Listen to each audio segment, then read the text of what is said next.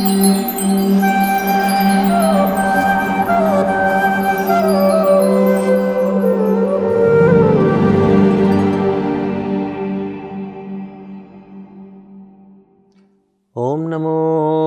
भगवते वासुदेवाय। ॐ नमो भगवते वासुदेवाय। ॐ नमो भगवते वासुदेवाय नमस्कृत्य नरं चैव नरोत्तमं। देवीं सरस्वतीं व्यासं ततो जयमुदीरयेत्। नष्टप्रायेष भद्रेषु नित्यं भागवतसेवया। भगवती उत्तमा श्लोके भक्तिर्भवति नैष्टिकी हरे कृष्णा आइए आप सबको स्वागत करते हैं भागवत संदेश कार्यक्रम में। पिछली बार हमने चर्चा किया था प्रहलाद महाराज के गुणों के विषय में। प्रहलाद महाराज के दिव्य गुणों के विषय में नारद जी प्रवचन दे रहे हैं। नारद जी प्रहलाद महाराज के गुरु है। नारद जी अपने शिष्य का गुणगान कर रहे हैं। उस सभा में खास करके युधिष्ठिर को बड़े आनंद के साथ उनके शिष्यों का आध्यात्मिक गुणों को वर्णन कर रहे हैं। उनके आध्यात्मिक गुणों को चर्चा करते हुए हमने प्रहलाद महाराज के विषय में चर्चा किया। ब्रह्मण्य शिल संपन्ना सत्यसंदो जितेंद्रिय खास करके उनका सुहृत सुहृत मतलब मित्र। प्रहलाद महाराज मित्र थे सभी लोगों को। उनके कोई दुश्मन नहीं प्रहलाद महाराज के। क्यों? क्योंकि उनके पास दिव्य गुण था कि बड़े लोगों को आर्य लोगों को माता पिता को आदर देना और जो हमसे निम्न होते हैं, उनको प्रेम प्रदान करना, प्रेम देना और अपने समान के लोगों को भाई जैसा भ्रातृत्व, मित्र के साथ, मित्रता के साथ व्यवहार करना। हमारे जीवन में बहुत लोगों लोगों के साथ हमारा संबंध रहता है। कुछ लोग हमसे श्रेष्ठ होते हैं। आयु में हो, ज्ञान में हो, किसी भी तरीके से, पदवी में हो उनको आदर देना चाहिए, आदर ऊपर की ओर जाता है। और प्रेम नीचे की ओर बहता है, यानी हमसे जो नीचे होते हैं, उनको प्रेम दो। कितना भी भले गलती क्या ना करता, माफ़ कर दो, प्रेम ही दो बस। आदर देना सीखो, प्रेम करना सीखो, और मित्रता देना सीखो। और ये तीन चीज़ अगर सीख ले जीवन में, कोई समस्या नहीं रहेगी। सभी लोग हमको मित्र मानेगा, मन हमको और हम भी सबको मित्र के रूप में मानेंगे और प्रेम भाईचारा रहेगी। प्रहलाद महाराज उसमें निपुण थे। साथ साथ में प्रहलाद महाराज का एक विशेष गुणों को चर्चा करते हुए पिछली बार हमने हमारा प्रवचन समाप्त किया था। उससे हम आगे बढ़ेंगे। क्या है विशेष गुण? वो है मान स्तंभ विवर्जित। देखिए, अहंकार ऐसा चीज़ है ना भले कितने भी सद्गुण क्यों ना हो, सद्गुण को नाश कर देता है अहंकार। मान लो कोई बहुत सुंदर व्यक्ति है। अपनी सुंदरता की वजह से उसको अहंकार हो गया, मैं सुंदर हूँ तो ये अहंकार उसकी सुंदरता को नाश कर देता है। केवल सुंदरता है उसका जीवन को ही नाश कर देता है। ये अहंकार बड़ा अद्भुत चीज़ है, पता नहीं क्या है, भगवान की सृष्टि है, भगवान की माया है। ये अहंकार अच्छे चीज़ों से आती है और उसी अच्छे चीज़ों को नाश कर देती है। आप सब जानते हो टर्माइट दीमक। ये दीमक जो है, वो लकड़े से उत्पन्न होता है और उसी लकड़े को खा जाता है। उसी प्रकार, मान लो किसी के पास बहुत धन हुआ, धन आ गया, और वो सोचता है कि मैं धनी हूँ वो धनी होने का अहंकार की वजह से वो धन नाश कर देता है। वो धन को नाश कर देता है। अहंकार से, धन से उत्पन्न हुआ जो अहंकार, उस धन को नाश कर देता है। विद्वत्ता। विद्वत्ता से उत्पन्न हुआ अहंकार उस विद्वत विद्वत, विद्वत्ता को नाश कर देता है। सुंदरता से उत्पन्न हुआ अहंकार की वजह से सुंदरता नाश हो जाता है। मैं बड़े अच्छे कुल में हूँ, अच्छे कुल में जन्म लेगा, मैं ब्राह्मण हूँ। अपने आप को मानते हैं ब्राह्मण हूँ। उसका जो अहंकार है ब्राह्मण होने का जो अहंकार है, उस ब्राह्मणत्व को नाश कर देता है। इसलिए सावधान। ये अहंकार से सावधान। चार चीज़ें अहंकार के कारण कुंती देवी कहती है। जन्म, ऐश्वर्य, श्रुत, श्रीभिर। उसी बात को इधर नारद जी कहते हैं, प्रहलाद महाराज को जन्म, ऊँचे कुल में जन्म, राजा का पुत्र। ऐश्वर्य, सारा संसार के राजा है, उनके पुत्र ऐश्वर्य की क्या कमी है? जन्म ऐश्वर्य श्रुत। प्रहलाद महाराज बड़े विद्वान। ऐसा कहा गया है कि जब प्रहलाद महाराज वेदों का शिक्षा ग्रहण करने के लिए जब गुरुकुल में गए, वो जितने टीचर जानते हो उसको उससे ज़्यादा पहले से जानते थे प्रहलाद महाराज। और इतने सुंदर प्रहलाद महाराज। ये चार चीज़ें होने पर भी प्रहलाद में एक चीज़ नहीं था। क्या था? वो अहंकार। चार चीज़ों से उत्पन्न हुआ अहंकार नहीं था। देखिए, धन होने में कोई समस्या नहीं है, लेकिन मैं धनी हूँ, ये समझने में बहुत समस्या है। बहुत सुंदर गाता है, बहुत अच्छी बात है, कोई समस्या नहीं है, बहुत अच्छी बात है, लेकिन मैं अच्छा गाता हूँ, मैं गायक हूँ यह अहंकार है। बहुत विद्या, ज्ञान होना, विद्या को अर्जन करना, ज्ञान को प्राप्त करना, बहुत अच्छी बात है। लेकिन मैं ज्ञानी हूँ, इस अहंकार है। इन दोनों में बहुत सूक्ष्म अंतर है। धन होना और मैं धनी हूँ यह मानना इन दोनों में अंतर है।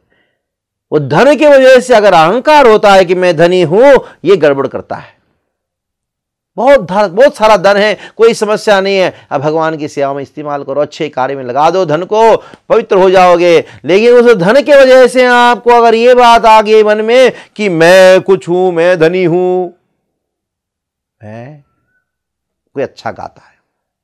अच्छा गाना तो सरस्वती का देन है। सरस्वती का कृपा से कोई अच्छा गा सकता है। लेकिन अगर ये सोच बैठे, मैं गायक हूँ, मैं फलाना हूँ तो ये अहंकार है।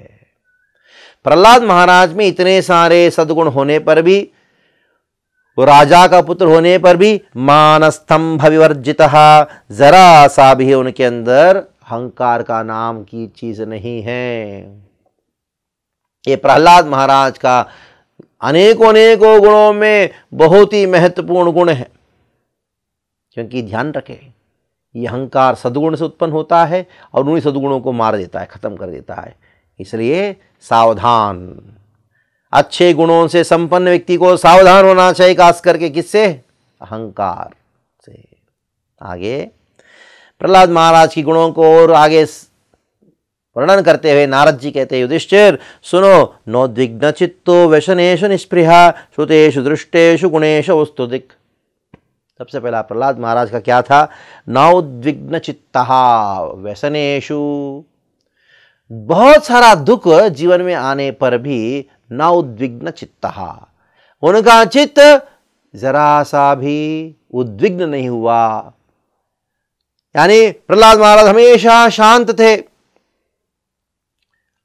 समस्या आने पर भी, तकलीफ़ आने पर भी वो शांत थे। उनका चित्त परेशान नहीं हुआ। देखिए संसार में अनेकों अनेकों दुख आते हैं, क्योंकि संसार बना ही है हमको दुख देने के लिए। लेकिन प्रहलाद महाराज फिर भी उन दुखों के द्वारा प्रभावित नहीं हुए। भगवदगीता में भगवान इस बात को बार बार इसको कहते हैं।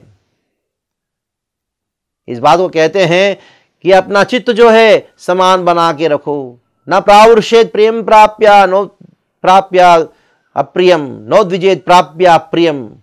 अप्रिय वस्तु प्राप्त होता है, परेशान हो जाना, बहुत दुखी हो जाना, प्रिय वस्तु प्राप्त होता है, एकदम बिल्कुल आनंदित हो जाना। ये जो है, ये अज्ञानी लोगों का स्वभाव है। प्रहलाद महाराज के विषय में कहा गया है, नौद्विग्न चित्तो व्यसनेशु निष्प्रिय सुतेषु दृष्टेशु गुणेशु अवस्तुदृक कोई भौतिक वस्तु के विषय में सुनने पर भी या देखने पर भी, इंद्रिय विषय वस्तु को देखने पर भी, सुनने पर भी, प्रहलाद महाराज निष्प्रिय कोई इच्छा नहीं थी उनको भोगने की। एकदम बिल्कुल अपनी इच्छाओं को नियंत्रण में रखे थे। दांतेन्द्रिय प्राण शरीर सदा। हमेशा उनके इंद्रियों को, प्राण को, बुद्धि को, मन को प्रहलाद महाराज वश में रखते थे। प्रशांत कामो। हमेशा प्रशांत। अपने सारे कामनाओं को शांत करके रखते थे इसलिए प्रहलाद महाराज को क्या कहा गया है?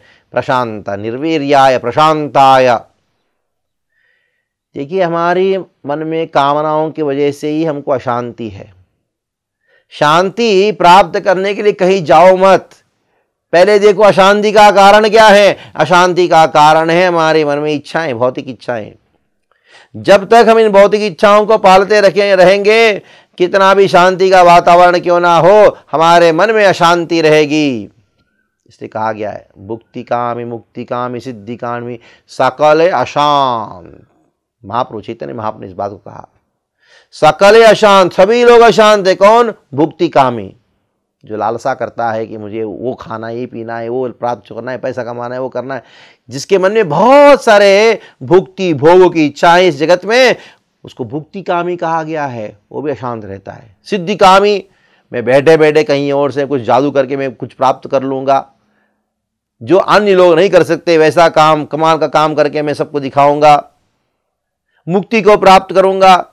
जिनके पास ये तीन प्रकार की कामना है, भुक्ति कामी, मुक्ति कामी, सिद्धि कामी, सकल, अशांत। सभी लोग अशांत है। लेकिन कृष्ण भक्त होता है, कृष्ण भक्त निष्काम। कृष्ण भक्त निष्काम होने की वजह से वो हमेशा शांत रहता है। प्रहलाद महाराज की स्थिति है, प्रशांत कामो रहितासुरो सुरहा क्या शब्द इस्तेमाल करते देखिए नारद जी अपने ही शिष्य का गुणगान करते प्रहलाद महाराज का गुणगान करते हुए कहते हैं, नारद जी, हे सुनो युधिष्ठिर, असुर कुल में जन्म लेने के बाद भी प्रहलाद महाराज में असुरों का गुण एक भी प्राप्त नहीं होता है। रहितासुरो सुरहा, इतना तक नारद जी ने कहा, यस्मिन महद्गुणा राजन गृह्यन्ते कविर्मुहु न तेजुना पीडीयन्ते यथा भागवतीश्वरे। भगवान के संबंध में होने के वजह से, भगवान का 24 घंटा स्मरण करने की वजह से, प्रहलाद महाराज में कृष्ण में जो भी गुण है, वो सारे गुण प्रहलाद महाराज में प्राप्त होते हैं। इसलिए कविबिर मुहु जब भी किसी का अच्छा गुणगान या अच्छे गुणों को उल्लेखन करना हो, तुरंत प्रहलाद महाराज का नाम लेते हैं और बार बार प्रहलाद महाराज की गुणों को बड़े बड़े विद्वान जन हमेशा गुणगान करते हैं और करते आ रहे हैं। जैसे, यत साधु गता सदसी रिपवोपि सुरा नृपहा। यत साधुकता सदसी। साधुओं के समाज में क्यों ना हो? अन्य कहीं भी सदस्य सदस्य चलता है या कहीं प्रवचन होता है, उधर हाँ प्रतिमानम प्रकुर्वंती किम उतात्मा भवदृश। प्रहलाद महाराज का उदाहरण से बताया जाता है कि अच्छे गुण होते क्या है? यानी दूसरे शब्दों में, प्रहलाद महाराज एक प्रमाण बन गए। एक मापदंड बन गए अच्छे गुणों का। जैसे अगर आपको मापना है हज़ार मीटर तो उसका मापदंड क्या है? मीटर का स्केल। उसी प्रकार किसी को मापना है कितने गुण हैं तो प्रहलाद महाराज के गुणों के अनुसार इनके अंदर कितना गुण है? ऐसे मापा जाता है। यानी एक स्टैंडर्ड बन गए प्रहलाद महाराज। एक एक प्रमाण बन गए किसके लिए? अच्छे गुणों के लिए। गुणैरलम असंख्येर नारद जी कहते हैं। प्रहलाद महाराज के गुण असंख्य है। क्यों असंख्य है? सुनिए। महात्म्यम तस्य सुचिते वासुदेवे भगवती नैस्तर्गिकी रति। क्यों है प्रहलाद महाराज के गुण असंख्य? कोई गिन सकता है क्या? एक, दो गिनना मूर्खता है। प्रहलाद महाराज के गुण को कोई गिन नहीं सकता। असंख्य है। क्योंकि वासुदेवे भगवती यस्य नैसर्गिकी रति प्रहलाद महाराज के जो गुण हैं, उसका मूल क्या है? मूल है भगवान वासुदेव के प्रति नैसर्गिकी रति अगर कोई पूछे, प्रहलाद महाराज का ये जो गुण है, दिव्य गुण कहाँ से प्राप्त किया? कहीं प्राप्त नहीं किया, क्योंकि वो भक्ति करते हैं, वो स्वाभाविक तरीके से सारे गुण अपने अंदर समा जाते हैं। ये बहुत महत्वपूर्ण बात है, ध्यान देने वाली बात है। हम सोचते हैं, हमारे बच्चे को अच्छे गुण आ जाए। कुछ स्कूलों में टीचर लोग भी सोचते हैं, हमारे बच्चों में अच्छे गुण आ जाए। लेकिन कैसे आएगा? नहीं आएगा। जब तक कृष्ण भक्ति नहीं करता है, उसके अंदर कोई अच्छे गुण दिखाई नहीं पड़ते। प्रकट हो नहीं सकते। अगर हो भी गए तो कुछ समय के बाद चले जाएँगे। लेकिन प्रहलाद महाराज का आज के दिन भी आप देख सकते हो, सुतल लोक में है। आप जाके देखो ये गुण कभी नष्ट नहीं हुए। क्यों? क्योंकि उनका नैसर्गिक रति वासुदेवी के प्रति। कभी एक बार मैं एक स्कूल में गया था और मैंने कहा प्रिंसिपल से, आपकी बच्चों को हम नैतिक शिक्षा देंगे, हमको मौका प्रदान कीजिए। और स्कूल का प्रिंसिपल ने कहा महाराज जी, बहुत अच्छी बात है, आप नैतिक शिक्षा दीजिए। हमारी बच्चों को केवल नैतिक शिक्षा दीजिए। आप कृष्ण के बारे में, भक्ति भक्ति के बारे में मत करो गीता, वीता मत पढ़ाओ, क्योंकि हम तो सेक्युलर है ना। हम चाहते हैं हमारे बच्चे अच्छे हो, लेकिन भक्ति ना करें। ये कैसे हो सकता है? कृष्ण भक्ति किए बिना कहीं भी किसी के पास भी अच्छे गुण नहीं हो सकता। मान लो दुर्गुणों से संपन्न भी क्यों ना हो? अगर कृष्ण भक्ति पालन करना शुरू करता है, आज नहीं तो कल उसके अंदर सदगुण संपन्न हो जाएँगे, सदगुणों से संपन्न हो जाएगा। भागवत में कहा गया है, यस्यास्ति भक्तिर भगवत्य किंचना सर्वेर्गुणे सत्र समासते सुरा हरावक्त कुतो महद्गुणा। जो हरि का भक्त नहीं होता है, वो उनको ये महत गुण कहाँ से है? क्योंकि मन के रथ की ओर बैठा हुआ है। मन के भक्त के रथ के ऊपर आरूढ़ होके वो जा रहा है। इसकी वजह से अनेकों अनेकों सदगुण होने पर भी मनोरथे ना तो आसती मन के रथ की ओर बैठ के वो जाने के वजह से, अपना जीवन यापन करने की वजह से वो दुर्गुणों से ही संपन्न है, क्योंकि मन तो पागल है। एक पागल व्यक्ति का कितने अच्छे गुण हो सकते हैं, बताए? हो भी गया तो पागल है ना वो तो। इसलिए ये सियास्ती भक्तिर भगवत्य किंचना। भगवान श्री कृष्ण का किंचन भक्ति करता है। उसको सर्वेर गुणे तत्र समासते सुरा। सुरा मतलब यह देवता नहीं है। सुरा मतलब जो भगवान के नित्य सूर्य जो सिद्ध पुरुष है, भक्त है, सिद्ध हो चुके हैं, उनके जो दिव्य गुण हैं, वो उस भक्त में समा जाते हैं, जो भगवान के शुद्ध भक्ति अकिंचन भक्ति करता है। इसलिए गुणैरलम असंख्येर वासुदेवे भगवती यस्य नैसर्गिकी रति अभी देखिए, ये श्लोक में भगवान वासुदेव के प्रति भगवान प्रहलाद महाराज का रति है, ऐसा वर्णन हुआ है। तुरंत अगले श्लोक में आता है नस्त क्रीडांत को बालो जड़वत्तन मनस्तया कृष्ण ग्राह गृहीतात्मा, न वेद जगदृशम ये भागवत के श्लोक है, बड़ा अद्भुत अद्भुत श्लोक है, देखिए। नस्त क्रीडांत को बालो बालक का स्वभाव होता है क्या है? खेल कूद करना, उधर भागना, इधर भागना। लेकिन प्रहलाद महाराज बिल्कुल अनासक्त थे। खेल कूद में भी अनासक्त थे। जड़वत तन मनस्थया। क्यों? उनका मन जो है, इस भौतिक जगत के प्रति जड़वत हो गया था। कुछ भी फ़र्क नहीं पड़ता था भौतिक जगत में क्या हो रहा है, कहाँ क्या हो रहा है, इधर क्या रखा, उधर खाने पीने का रखा जिस बच्चा में जो चंचल रहता है, कोई चंचलपन नहीं था प्रहलाद महाराज में। कृष्ण ग्राह गृहितात्मा। भौतिक संसार के सुख या दुख के द्वारा जरा सा भी प्रभावित नहीं थे। क्यों मालूम है? कृष्ण ग्राह गृहित आत्मा बहुत सुंदर शब्द इस्तेमाल करते हैं नारद जी अपने शिष्य का गुणगान करने के लिए। कृष्ण ग्राह कृष्ण के द्वारा पकड़े गए हैं। यानी दूसरे शब्दों में एक व्यक्ति है, उसको भूत पकड़ लेता है। जो भूत पकड़ा हुआ व्यक्ति है, वो खुद को मालूम नहीं वो क्या बोल रहा है, क्या कर रहा है। खुद को नहीं मालूम। उसी प्रकार प्रहलाद महाराज को कृष्ण भक्ति नामक एक भूत पकड़ लिया था। कृष्ण ग्राह गृहित आत्मा, उनको कोई फ़र्क नहीं पड़ता जगत में क्या हो रहा है। खुद के जीवन में क्या हो रहा है, कुछ भी मालूम नहीं है। क्यों? पूर्ण तरीके से उनकी चेतना कृष्ण के द्वारा आवेशित हो चुका था। जैसे एक भूत एक व्यक्ति की चेतना को आवेशित कर देता है, उसी प्रकार कृष्ण भक्ति नामक एक भूत, समझ लीजिएगा, ये दिव्य भूत है। किसी को एक बार पकड़ ले जाता है, पकड़ता है, उसको इस संसार के साथ कुछ लेना देना नहीं है। ये कृष्ण ग्राह गृहित आत्मा। पिछले श्लोक में वर्णन हुआ है, प्रहलाद महाराज का वासुदेवे भगवती नैसर्गिकी रति। वासुदेव के प्रति उनका रति कैसा है? नैसर्गिकी रति है। उनका रति एकदम स्वाभाविक है। अभी इस श्लोक में वर्णन हुआ है, कृष्ण ग्राहगृत आत्मा। अभी देखिए, आगे श्लोक में वर्णन आता है।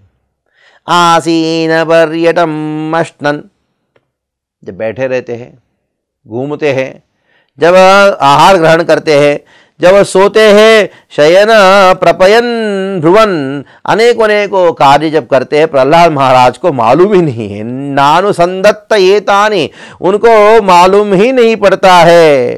ये सब क्या कर रहे हैं? कभी कभी खाते हैं कभी कभी सोते हैं। उनको मालूम ही नहीं वो सो रहे उनको मालूम ही नहीं खा रहे उनको मालूम ही नहीं कि मैं चल रहा हूँ। कैसे? क्यों? क्योंकि गोविंद परिरंभित गोविंद परिरंभित बहुत महत्वपूर्ण शब्द बड़ा सुंदर शब्द है, देखिए। वासुदेगे भगवती ऐसा नैसर्गिक रति कृष्ण ग्राह गृहितात्मा अभी गोविंद परिरंबित मतलब क्या है? गोविंद के द्वारा आलिंगत कर चुके हैं, किए गए प्रहलाद महाराज। हमेशा गोविंद जो है, प्रहलाद महाराज को आलिंगन करके है, जैसे एक माँ। एक शिशु को आलिंगन करके रहती है। जो शिशु को आलिंगन करके कहीं इधर जा रही है, उधर जा रही है, कुछ करती है उस शिशु को मालूम नहीं है क्या हो रहा है। उसी प्रकार प्रहलाद महाराज को कुछ होश ही नहीं वो क्या कर रहे हैं। क्यों? क्योंकि कृष्ण उनको आलिंगन करके रखे, गोविंद परिरमृत प्रहलाद महाराज को मालूम ही नहीं है। जगत में क्या हो रहा है? मान लो कि आटम बम भी गिरा, उसको फूस फ़र्क नहीं पड़ता। क्यों? क्योंकि उनकी चेतना पूर्ण तरीके से कृष्ण में लगा हुआ है। आगे, क्वचित रुद्धति वैकुंठे चिंता स्तबल चेतना कभी कभी प्रहलाद महाराज को ऐसा लगता है कि, अरे रे मेरे कृष्ण कहा गए, कृष्ण कहा गए? कृष्ण का विस्मरण, अस्तित्व विस्मरण नहीं है। कृष्ण कहाँ गए कहाँ गए? ये स्मरण करके प्रहलाद महाराज को रोना आता था। कृष्ण विरह में विरह का प्रेम से कृष्ण प्रहलाद महाराज की आँखों में से आँसू। जैसे एक बच्चा जो है माँ को माँ कहाँ है? एकदम अचानक एक मिनट के लिए दिखती नहीं माँ। हाँ, माँ क्या किया? बच्चे को एक जगह रख दिया अपने कान में व्यस्त हो गई। बच्चा खेल रहा है अचानक देखता है माँ नहीं है तुरंत रोना शुरू करता है। और माँ भाग के आके आलिंगन करते तुरंत हंसना शुरू करता है। कभी प्रहलाद महाराज रोते हैं कृष्ण विरह में और जैसे कृष्ण के स्मरण हो जाता है तो तुरंत हंसना शुरू करते हैं। कभी प्रहलाद महाराज, कृष्ण कहते हैं, बेटा, तुम कैसे हो? सब ठीक तो है ना? हाँ? बहुत अच्छे बच्चे हो। कि भाई माता पिता बच्चे को बोलते हैं बहुत अच्छा बच्चा है। ये सुन के बच्चा कूदना शुरू करता है, हंसना शुरू करता है नाचना शुरू करता है। इस प्रकार प्रहलाद महाराज कभी रोते थे कृष्ण विरह में और कृष्ण का स्मरण होते कभी हँसते थे। और कृष्ण के जब ऐसे प्रहलाद महाराज तुम बहुत अच्छा भक्त हो। जैसे कृष्ण मन, मनी मन में कृष्ण प्रहलाद महाराज जब कहते हैं तो प्रहलाद महाराज क्या कहते हैं? करते हैं, कभी गाते हैं, नृत्य करते हैं। यानी पूर्ण तरीके से कृष्ण भक्ति में तल्लीन है प्रहलाद महाराज। नदति क्वचित वै उत्कंठो, विलज्जो नृत्य क्वचित। कभी निर्लज होकर नृत्य करते हैं प्रहलाद महाराज। हमेशा कृष्ण के स्मरण करते हुए कभी कभी कृष्ण जैसा, कृष्ण की लीलाओं को वो संपन्न करते रहते हैं। इस प्रकार प्रहलाद महाराज कृष्ण भक्ति में आनंद को अनुभव करते हैं। आनंद को अनुभव करते हुए कभी आँखों को आधा बंद करते हुए आँखों में से प्रणयाश्रु गिर रहे हैं। पुलेशकर आलवार कहते हैं, मेरा जीवन इस प्रकार संपन्न हो। बद्देनांजलिन तेन शिरसा।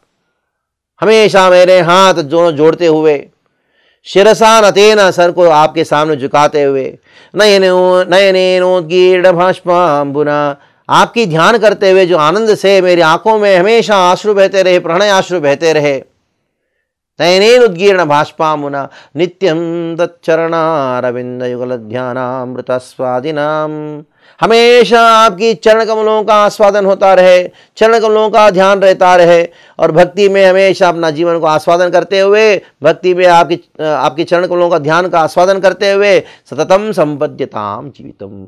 हमेशा मेरा, हमारा जीवन जो है, इस प्रकार चलता रहे। हमेशा आपकी चरण कमलों का ध्यान करते हुए, आनंद को अनुभव करते हुए मेरा जीवन संपन्न होता रहे। इस प्रकार कुलशेखर आलवार भी कहते हैं।